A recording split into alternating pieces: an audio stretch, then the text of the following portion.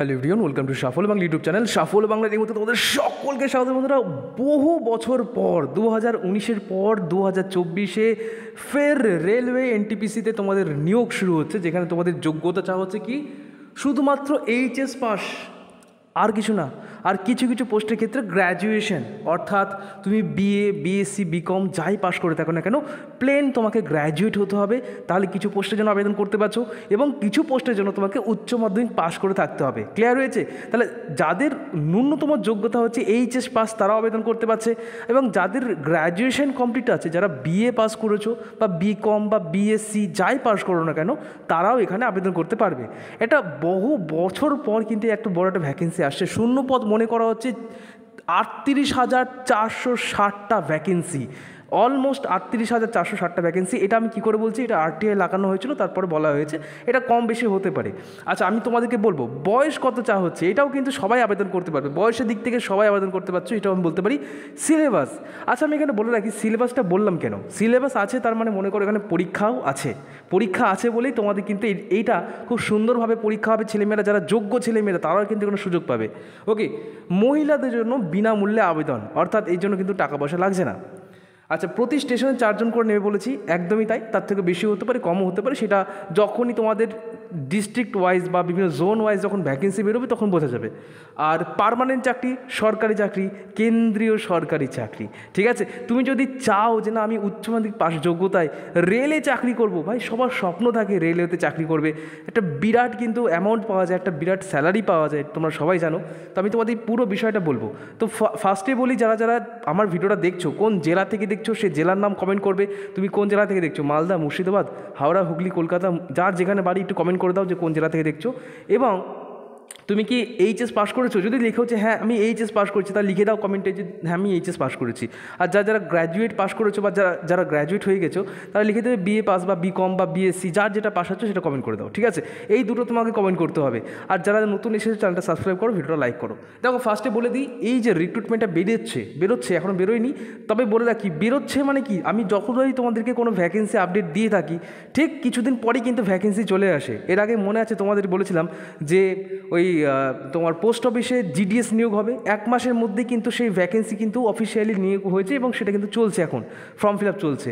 ঠিক একই রকমভাবে এটার ক্ষেত্রেও বলছি এটা বলে দেওয়া হয়েছে যে তোমাদের জুলাই জুলাই থেকে সেপ্টেম্বরের মধ্যে এটা বেরোবে।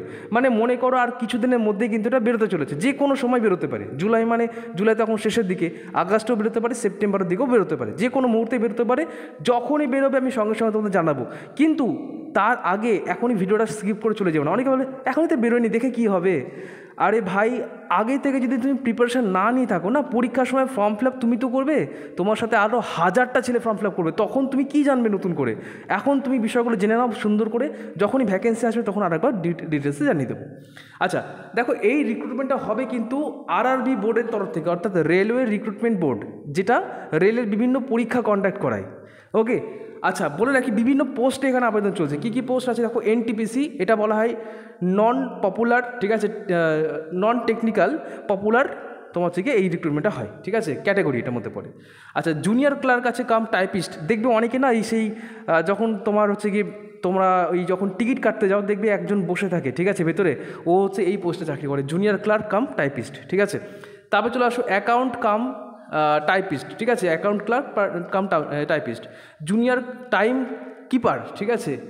ট্রেন ক্লার্ক ওকে তারপরে দেখো commercial cum ticket ticket clerk তারপরে দেখো ট্রাফিক অ্যাসিস্ট্যান্ট গুড গার্ড ঠিক আছে? গুড গার্ড মানে কী বলতো? যারা দেখবে ট্রেনের পিছনে বসে থাকে না, দেখবে ওয়াকি টকিতে কথা বলে। আর যারা ট্রেন চালায়, ওদেরকে বলা হয় তোমার এএলপি অর্থাৎ অ্যাসিস্ট্যান্ট লোকো পাইলট ওই এএলপির জন্য ভ্যাকেন্সি বেরিয়ে গেছে অলরেডি ওটা ফর্ম ফিল আপ শেষ হয়ে গেছে, কদিন পর পরীক্ষা হচ্ছে। তো সেটা নিয়ে কথার বক্তব্য নয়। তো রেলওয়ে গুড গার্ডস অর্থাৎ তারা দেখবে ট্রেনে যারা গার্ড থাকে, দেখবে পিছনে সাদা রঙের জামা পরে থাকে, ঠিক আছে? কারা কারা দেখেছ কমেন্ট করে দিও, ঠিক আছে? তারা হচ্ছে রেলওয়ে গুডস গার্ড সেটাও কিন্তু নিয়োগ হচ্ছে। মানে একে বলা যায় তোমার হচ্ছে কি ট্রেনেরই ম্যানেজার বলা হয়, অনেকেই বলে। যাই হোক, তারপর দেখো টিকিট ক্লার্ক, ঠিক আছে? Senior clerk cum typist, junior account assistant, এরকমভাবে প্রত্যেকটা ভ্যাকেন্সি কিন্তু বেরোচ্ছে। আচ্ছা এবার দেখো কোয়ালিফিকেশন আমি আগেই তোমাদের বলছি যে শুধুমাত্র কোনো কোনো পোস্টের ক্ষেত্রে শুধুমাত্র এইচএস পাশে আবেদন করতে পারছ, আর কোথাও কোথাও তোমাকে কিন্তু গ্র্যাজুয়েশন চাওয়া হচ্ছে বা কোথাও কোথাও বিএ বিএস বিকম এরকম চাওয়া হবে। যে কোনো মানে ডিসিপ্লিন হলেই হবে। মানে তোমাকে এমন না যে তোমাকে সায়েন্সেই পাস করতে হবে বা তোমাকে ইঞ্জিনিয়ারিং পাস করতে হবে, কিচ্ছু ব্যাপার নয়। তুমি প্লেন বিএ পাস করে থাকলেও আবেদন করতে পারছ। ওকে এবার দেখো ডিটেলসটা বলি এজ লিমিট যেটা সব থেকে বড় কথা, যে স্যার বয়স কত চাওয়া হচ্ছে? বয়স হচ্ছে দেখো আঠেরো থেকে তিরিশ বছর, এটা তোমার এইচএস পাশের জন্য, যারা যারা এইচএস পাশ করে যাবে। আর আঠেরো থেকে তেত্রিশ বছর যারা তোমার হচ্ছে গ্র্যাজুয়েশন পাশ করে যাবে। অর্থাৎ একটা হিউজ কিন্তু মানে তোমার হচ্ছে এজ লিমিট পাচ্ছ। এবার বলে রাখি, যারা এসসি এসটি আছো, তারা তো জানোই তো তোমার তো ভাই ছাড় পাবেই। এটা তো মুখস্থ গেছে তোমাদের। এসসি এসটি মানে পাঁচ বছর ওবিসি মানে তিন বছর ছাড়। তাহলে কত দাঁড়াচ্ছে? প্রায় কিন্তু তোমার তেত্রিশ থেকে তিন বছরের ছত্রিশ ওবিসিদের জন্য থার্টি সিক্স আর যারা এসসি এসটি আছে, তাদের পাঁচ বছর তখন thirty eight thirty eight thirty eight years পর্যন্ত তোমরা আবেদন করতে পারছ। এর থেকে বড় অপরচুনিটি কী হতে পারে? এবার বলে কি, তোমাদের পরীক্ষা কিন্তু হবে বেশ কিছু ধাপে। অর্থাৎ তোমাদের নিয়োগটা কিন্তু এমনি হবে না। যে দেখলাম, মুখ দেখে তোমাদেরকে চাকরি দিলাম, এরকমটা কিন্তু নয়। একেবারেই নয়। এবং এই জন্য ভালো মতো পড়াশোনা করতে হয়। সবাই কিন্তু সুযোগ পায় না। আমি আবারও বলি, আমার নিজের একটা স্টুডেন্ট ঠিক আছে, আমি যে কলেজে পড়াই, সেই কলেজেই আমার একটা স্টুডেন্ট আছে, যে কিন্তু রেলের গ্রুপ ডি চাকরি পেয়েছে, যার জন্য প্রচুর পরিশ্রম করেছে। একটা গ্রুপ ডি চাকরির জন্য প্রচুর পরিশ্রম করতে হয়। এটা কিন্তু গ্রুপ বি বা গ্রুপ সি লেভেলের চাকরি। এর জন্য কিন্তু তোমাকে আরও বেশি পরিশ্রম করতে হবে। তাই বলে কাট কি প্রচুর হাইফাই যায়? না, একেবারেই নয়। তোমাকে কাট অফও দেখাবো ভিডিওতেই দেখাবো। ওই জন্য বলেছি ভিডিওটা কমপ্লিট দেখো। আর কোনো ভিডিও দেখার দরকার হবে না। এই একটা ভিডিও দেখলে তুমি কিন্তু কমপ্লিট ডিটেলস পেয়ে যাবে। দেখো, বয়সটা কথা বললাম। এবার দেখো, পরীক্ষাটা হবে বিভিন্ন ধাপে। সিবিটি ওয়ান হবে, অর্থাৎ কম্পিউটার বেস টেস্ট হবে একবার। কম্পিউটার বসে তোমাকে পরীক্ষা দিতে হবে। এই পরীক্ষায় পাশ করলে তবে হবে আবার সিবিটি টু অর্থাৎ আবার তোমাকে কম্পিউটার পরীক্ষা নেওয়া হবে। অর্থাৎ প্রথমবার পরীক্ষা দিলে, প্রথমবার পরীক্ষা দেওয়ার পর দেখা গেলো যে, আমি কথা কথা বলছি, তো পাঁচ লাখ, দশ লাখ বা পঞ্চাশ লাখ ছেলে মেয়ে অ্যাপ্লাই করল। অ্যাপ্লাই করার সবাই সবাই তো আর সুযোগ পাবে না। এবার তাদের মধ্যে কিছু জনকে বাঁচলো। বাঁচার পর দেখা গেলো আরও কিছু ছেলে আছে, তাদেরকে আবার সিবিটি টু এ বসালো। সিবিটি টু এ দেখা গেলো আরও কিছু ছেলে মানে ওখান থেকে ছেকে বার হয়ে গেল। যারা বার হয়ে গেল তাদের তার দিকে তার ধরবে না। যারা তাও টিকে আছে, তাদেরকে নিয়ে হবে স্কিল টেস্ট অর্থাৎ তোমাদের কিন্তু ওই স্কিল টেস্ট এই সমস্ত উৎস হবে। আমি প্রত্যেকটা ক্ষেত্রে বলে দেবো পরবর্তীতে কী কী স্কিল টেস্ট হয়। সেটা যদি তোমাদের ভালো রকম কমেন্ট আসে হ্যাঁ স্যার নেক্সট পার্ট চাই নেক্সট পার্ট চাই, আমি নেক্সট পার্টে অবশ্যই বলব, আমার যে স্টুডেন্টটা চাকরি পেয়েছে, তারই একটা ইন্টারভিউ দেবো, ঠিক আছে? তো কমেন্ট করো, আর খুব তাড়াতাড়ি বলেছিলাম তোমাদের আইসিডিএসের একজন আমার স্টুডেন্ট বা আমার বলতে পারে এখন বন্ধু হয়ে গেছে যে তার কাছ থেকে আমি ইন্টারভিউ নেব, আমি তাকে বলেও দিয়েছি, খুব তাড়াতাড়ি ইন্টারভিউ ভিডিওটা আসছে, ঠিক আছে? এবং আইসিডিএস ক্লাসও কিন্তু শুরু হয়ে যাচ্ছে খুব তাড়াতাড়ি। আর দেখো, তারপর ডকুমেন্ট ভেরিফিকেশন হয়ে কিন্তু মেডিকেল হবে। আচ্ছা বলে রাখি মেডিকেলে কিন্তু খুব একটা সহজ হয় না। রেলের পরীক্ষার ক্ষেত্রে বিশেষ করে মানে মেডিকেল বেশ কিন্তু ভালোই কিন্তু দেখা হয়। আমার নিজের একজন কলিগও আছে, যে কিন্তু তোমার যেই পোস্টে যেমন চাকরি করছে এখন, ইরকন বলে একটা কোম্পানি আছে, সেই কোম্পানি অর্থাৎ রেলের কোম্পানিতে কিন্তু সে চাকরি করছে। তার কাছ থেকে তার এক্সপিরিয়েন্স তোমাদের সাথে শেয়ার করব। সে জুনিয়র ইঞ্জিনিয়ারের জন্য অ্যাপ্লাই করছে, তাও কিন্তু তাদের কিন্তু ভালো চোখের দৃষ্টি, বিশেষ করে চোখ ভালো হতে হবে। যাদের মানে একটু সমস্যা আছে চোখে তারা কিন্তু আবেদন করা একবার দেখে নেবে, ঠিক আছে? আইসাইট কত হতে হবে, তারপরে এরকম ব্যাপারগুলো আছে, ঠিক আছে? চোখের ব্যাপারটা খুবই জরুরি এখানে, কারণ কোনো, ধরো তুমি কাজ করছ, বিশেষ করে রেলে দেখবে বেশিরভাগ ক্ষেত্রে কিন্তু চোখের বেশি দরকার, ঠিক আছে? যারা দেখতে পায় না বা যাদের অসুবিধা আছে কালার বাইন্ডেসে তাদের একটু অসুবিধা হলেও হতে পারে। হয়তো পরবর্তীকালে মেডিকেল টেস্টে অসুবিধা হতে পারে। একবার দেখে নেবে নোটিশটাই ঠিক আছে? অফিসিয়াল ওয়েবসাইট দিয়ে দেওয়া আছে। এবার দেখো তোমাদেরকে বলি, শুধুমাত্র গ্র্যাজুয়েশন সরি আন্ডার গ্র্যাজুয়েট অর্থাৎ যারা এইচএস পাশে যারা আবেদন করতে পারছ, তোমরা যদি উচ্চ মাধ্যমিক পাশ করে থাকো, যে সমস্ত পদের জন্য আবেদন করবে সেটা বলে দিই। দেখো জুনিয়র ক্লার্ক কাম টাইপিস্ট এটা এটা আগের বছরে দু হাজার উনিশের ভ্যাকেন্সি দেখতে পাচ্ছ এটা এতটা ভ্যাকেন্সি ছিল। টোটাল মিলিয়ে দশ হাজার ছশো তিনটা ভ্যাকেন্সি ছিল আগের বছর। এবং তোমার হচ্ছে গিয়ে যারা গ্র্যাজুয়েশন পাস করেছে, তাদের জন্য দেখতে পাচ্ছ যে চব্বিশ হাজার ছশো পাঁচটা ভ্যাকেন্সি ছিল। সব মিলে কিন্তু প্রায় তিরিশ হাজারের কাছাকাছি চলেই গেছে ভ্যাকেন্সি ঠিক আছে? এবারও ওরকমই ধরা হচ্ছে যে ওরকম কিন্তু ভ্যাকেন্সি আসবে। দেখো রেলে কিন্তু সঙ্গে সঙ্গে ভ্যাকেন্সি বেরোয় না। এটা বেরিয়েছে কিন্তু প্রায় দেখতে পাচ্ছ পাঁচ বছর পর ভ্যাকেন্সি আসছে। তো যখন ভ্যাকেন্সি আসে, তখন কিন্তু তিরিশ হাজার, চল্লিশ হাজার ভ্যাকেন্সি নিয়ে আসে। সুতরাং ভালোভাবে পড়াশোনা করো যেন চাকরিটা হয়। না হলে আবার সেই পাঁচ বছর পর কবে হবে, সেটা কিন্তু নিশ্চিত কে বলতে পারে না, ঠিক আছে? তাহলে এই সমস্ত পোস্টের জন্য তুমি যদি আবেদন করতে চাও, তোমাকে মিনিমাম এইচএস পাস করে থাকতে হবে ওকে আর এই সমস্ত পোস্টের জন্য যদি আবেদন করতে চাও, যেমন তোমার হচ্ছে কি বলি ট্রাফিক অ্যাসিস্ট্যান্ট গুডস গার্ড অর্থাৎ ওই যে ট্রেনে যারা দেখবে পিছনে থাকে যে গুডস গার্ড বললাম, তারা, ঠিক আছে? তারপরে দেখতে পাচ্ছ যে তোমার senior commercial cum ticket clerk এর জন্য তোমাকে গ্র্যাজুয়েশন পাস করে থাকতে হবে, দেখতে পাচ্ছ? Be graduate from with minimum education qualification তোমাকে মিনিমাম তোমাকে এইচ গ্র্যাজুয়েশন পাস করে থাকতে হবে, ঠিক আছে? আর বয়স হতে হবে আঠেরো থেকে তেত্রিশ বছর। ক্লিয়ার এবার দেখো, এই দেখো ফিজের ব্যাপারটা বলি। এখানে তো আমি বলেছি যে মেয়েদের ক্ষেত্রে বিনামূল্যে, তাহলে এখানে কেন স্যার লেখা আছে? দেখো, বলে রাখি, যারা জেনারেল এবং যারা ওবিসি তাদের জন্য রাখছে পাঁচশো টাকা। ঠিক আছে? বলছি, ব্যাপারটা বলি, পাঁচশো টাকা লাগে না, পরে তোমার ফেরত পেয়ে যাবে। আর যারা SC ST PWD women ex serviceman যারা আছে, তাদের জন্য কিন্তু প্রথমে রাখছে আড়াইশো টাকা। এবার এখানে একটা মজা আছে। কি মজা? বা কি একটা ম্যাজিক আছে? ব্যা- ব্যা- ব্যাপারটা বলি। ব্যাপারটা হচ্ছে রেলে কি করে? রেল বলছে, ভাই, তুমি আমাকে পাঁচশো টাকা দিয়ে ফর্মটা ফিল আপ করো। ঠিক আছে? তোমার কাছ থেকে পাঁচশো টাকা নিলাম। কিন্তু যখনই তুমি পরীক্ষাটা দিয়ে দেবে, তখন তোমাকে একটা অপশন দেবে। ওয়েবসাইটে একটা অপশন দেবে যে, তুমি তোমার টাকাটা রিটার্ন চাইছো। তোমাকে, তুমি যদি পরীক্ষায় না বসো, তাহলে কিন্তু রিটার্ন পাবে না। তোমাকে পরীক্ষায় বসতে হবে। পরীক্ষায় বসলে তোমাকে চারশো টাকা রিটার্ন করে দেবে। অর্থাৎ যারা জেনারেল এবং ওবিসিদের ক্ষেত্রে যারা পাঁচশো টাকা দিয়ে ফর্ম ফিল আপ করছ, তোমাদের চারশো টাকা যদি ব্যাক করে দেয়, তাহলে তোমার কত টাকা খরচ হলো? একশো টাকা। অর্থাৎ বলতে পারো যে কোর্স ফি মানে সরি অ্যাপ্লিকেশন ফি কিন্তু লাগছে মাত্র একশো টাকা। ক্লিয়ার বুঝতে পেরেছ কী বলতে চাইলাম?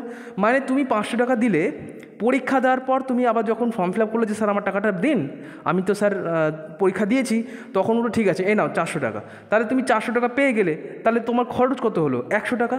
এবার বলি, যারা মেয়েরা আছো, মহিলা, যারা এসসি, এসটি আছো, তাদের জন্য কিন্তু এই আড়াইশো টাকাও লাগবে না। ফর্ম ফিল আপ করার সময় তোমাদেরকে বলে ঠিক আছে, আড়াইশো টাকা পেমেন্ট করো। ঠিক আছে, দাও দাও দাও, আড়াইশো টাকা দাও। তুমি আড়াইশো টাকা দিলে, আড়াইশো টাকা দেওয়ার পর পরীক্ষাটা দিলে, পরীক্ষা দেওয়ার পর যখন তুমি আবার এরকম ফর্ম ফিল আপ করবে, একটা ক্লেম করবে যে, স্যার, আমার টাকাটা ফেরত দিন, তখন তোমাকে পুরো আড়াইশো টাকাই ফেরত দিয়ে দিল। ঠিক আছে? তাহলে তোমার কত টাকা খরচ হলো? কিছু খরচ হলো কি? তাহলে জিরো হলো। তাহলে অ্যাপ্লিকেশন ফি কিন্তু এখানে কিছু লাগে না, মহিলাদের ক্ষেত্রে। এইটা তখনই ফেরত পাবে যখন তুমি পরীক্ষায় বসবে। আমি আবার বলছি, পরীক্ষায় না বসলে কিন্তু টাকা ফেরত পাবে না। এটা কিন্তু এই একটা অদ্ভুত নিয়ম আছে রেটের ঠিক আছে? চলো, এবার তোমাদের বলে দিই এই তো স্টেপগুলো বলে দিলাম, কী কী স্টেপে আছে তোমাদের সমস্তটাই বলে দিয়েছি সিলেকশন প্রসেস এবার দেখো স্যালারি যে স্যালারির ব্যাপারটা সবার তো একটা চিন্তা থাকে স্যার রেলের চাকরি মানে তো বিরাট স্যালারি বিরাট স্যালারি একদমই তাই। দেখো ফার্স্টে বলে রাখি, এগুলো হচ্ছে তোমাদের বেসিক পে বেসিক পে মানে কি, এটা এটা হচ্ছে মিনিমাম তোমাকে দিচ্ছে, ঠিক আছে? এরপর তোমাদের বিভিন্ন রকম পার্কস বিভিন্ন রকম বেনিফিটস এগুলো সব অ্যাড হবে। যেমন এইচ আর অ্যাড হয়, ঠিক আছে? ডিএ অ্যালাউ মানে এগুলো অ্যাড হবে টিএ অ্যালাও হবে। এগুলো সব যখন অ্যাড করবেন, তখন দেখবে এটা কিন্তু অ্যামাউন্টটা গিয়ে দাঁড়াবে প্রায় তিরিশ থেকে পঁয়ত্রিশ হাজারের কাছাকাছি। কম করে, ঠিক আছে? আমার নিজের স্টুডেন্ট গিয়েছে এই কিছুদিন আগে জয়েন করেছে, প্রায় এক বছর হবে। খুব একদম রিসেন্ট টাইমে জয়েন করেছে। সে কিন্তু ত্রিশ হাজার প্লাস কিন্তু স্যালারি পায়। তবে বলে রাখি, সেই গ্রুপ ডি চাকরি করছে মানে প্রচুর খাটনি চাকরি। ঠিক আছে? এইগুলো কিন্তু অনেকটা মানে রিল্যাক্সেবল ঠিক আছে? অতটাও টাফ না যে বিরাট কোনো হার্ড ওয়ার্ক করতে হয়। অতটাও নয়। তবে চাকরি যেহেতু করছ রেলের চাকরি মানে একটা নিশ্চিত মানে ভবিষ্যৎ আছে, ঠিক আছে? সব জায়গাতে তোমরা জানো যে রেলের চাকরি মানে বিরাট স্যালারি ঠিক আছে? তো যাই হোক এই ব্যাপারগুলো আছে। আমার অনেকেই মানে পরিচিতর মধ্যে আছে যারা রেলে চাকরি করে। হাব ভাবি পুরো আলাদা, ঠিক আছে? মানে মনে হয় যে পুরো মানে সত্যি একদম কিন্তু এটা গর্বের বিষয় যে রেলে চাকরি করছে মানে সাংঘাতিক একটা মানে ব্যাপার। তো যাই হোক জুনিয়র ক্লার্কের ক্ষেত্রে কিন্তু তোমার উনিশ হাজার নশো টাকার বেসিক পে আমি বারবার বলছি এটা বেসিক পে কিন্তু, ঠিক আছে? এরপর আরও সমস্ত কিছু অ্যাড হবে, তখন গ্রেড পে হয়। গ্রেড পে দেখা যাবে তিরিশ হাজারের ওপর হয়ে যাচ্ছে, ঠিক আছে? অ্যাকাউন্ট কাম ক্লার্ক, টাইপিস্ট হচ্ছে উনিশ হাজার নশো। ঠিক আছে? এরকমভাবে সবগুলো অ্যাড হবে। তোমরা দেখে নেবে এভাবে। ঠিক আছে? আমি দেখিয়ে দিলাম। গুডস গার্ড যারা তোমার ট্রেনের চালক, তাদের কিন্তু এটা দেখাচ্ছে। বাইশ হাজার নশো বাইশ হাজার উনত্রিশ হাজার দুশো। উনত্রিশ হাজার দুশো টাকা বেসিক পে তারা ভাবো যে সব কিছু অ্যাড করে কত হবে। কম করে বলে রাখি, এদের স্যালারি কম করে পঁয়তাল্লিশ হাজারের নিচে নেই। ঠিক আছে? ফর্টি ফাইভ থাউজেন্ডের নিচে কিন্তু নেই। এগুলো কিন্তু সব এরকম টাইপের ঠিক আছে? আর এগুলো সব বলে দিলাম, ঠিক আছে? এবার দেখি কাট অফটা অর্থাৎ পরীক্ষা তো দেবো, স্যার কাট অফ কীরকম যায়? দেখো ফাইনাল কাট অফটা তোমাদের বলে দিলাম। একটা ফাইনাল কাট অফ ঠিক আছে? দেখো, বিভিন্ন জোন ওয়াইজ হয়। আমি আবার বলছি জোন হয়, ঠিক আছে? যেমন ধরো আমেদাবাদ আছে, আজমির আছে, এলাহাবাদ আছে, আমাদের দেখতে হবে আমাদের তিনটে জোন আছে, একটা হচ্ছে শিলিগুড়ি, একটা শিলিগুড়ি জোন আছে, আর একটা কি, আর একটা হচ্ছে কলকাতা জোন এবং একটা হচ্ছে মালদা জোন। এই তিনটে জোন আছে আমাদের ওয়েস্ট বেঙ্গলের জন্য। যারা ত্রিপুরা থেকে দেখছ বা যারা আসাম থেকে দেখছ, আমার অনেক বন্ধুরা কিন্তু আসাম ত্রিপুরা থেকেও দেখে। অনেকেই কমেন্ট করে, স্যার, আসাম থেকে দেখছি। আমি সেই অর্থে তো আসাম নিয়ে তো আলোচনা করি না, কিন্তু যেহেতু দেখো, আমি তোমাদেরকে বলব, তোমাদেরও বিভিন্ন রকম কিন্তু যেমন গুয়াহাটি গুয়াহাটি একটা থাকে থাকে ত্রিপুরার বিভিন্ন কিন্তু জায়গায় থাকে, ঠিক আছে? এগুলো দেখে নেবে। তো বিভিন্ন রকম তোমার জোন থাকে, সেই সমস্ত জোন থেকে কিন্তু আবেদন করতে পারবে। কোনো অসুবিধে নেই, ঠিক আছে? দেখো শিলিগুড়ি আছে, তারপরে আরও অনেক আছে, ঠিক আছে? এখানে এই দেখো কলকাতা, মালদা, মুর্শিদা, এই কলকাতা, মালদা তাই বলে যারা অন্যান্য জায়গার বাসিন্দা, তারা কি আবেদন করতে পারবে না? কারও বাড়ি পূর্ব মেদিনীপুর, সে কি আবেদন করতে পারবে না? সেও পারবে। এটা জোন তোমাকে সিলেক্ট করতে হয় যে কোন জোনে আবেদন করব। এবং এই জোন সিলেকশানেও কিন্তু একটা কাট অফের ব্যাপার আছে। মানে কাট অফ কিন্তু আপ ডাউন থাকে, ঠিক আছে? তো এটা নিয়ে আমি পরে আবার আলোচনা করব। এটা হচ্ছে পুরো কাট অফ লিস্ট দেখতে পাচ্ছ? জেনারেলের ক্ষেত্রে এটা ছিল। এটা হচ্ছে জেনারেলের ক্ষেত্রে, এটা ওবিসি ক্ষেত্রে, এটা এসসি এটা এসটি ঠিক আছে? তো এটা হচ্ছে পুরো কাট অফ লিস্ট আশা করছি ক্লিয়ার হয়েছে, সবাই একবার স্ক্রিনশটটা নিয়ে নিতে পারো। তো কেমন লাগল ভিডিওটা অবশ্যই কমেন্ট করে জানাবে। আমি নেক্সট পার্ট তখনই দেবো, যখন তোমাদের প্রচুর কমেন্ট আসবে, এক হাজার লাইক আসবে তখন কিন্তু নেক্সট পার্ট আমি দেবো। তো অসংখ্য ধন্যবাদ সবাইকে, নমস্কার।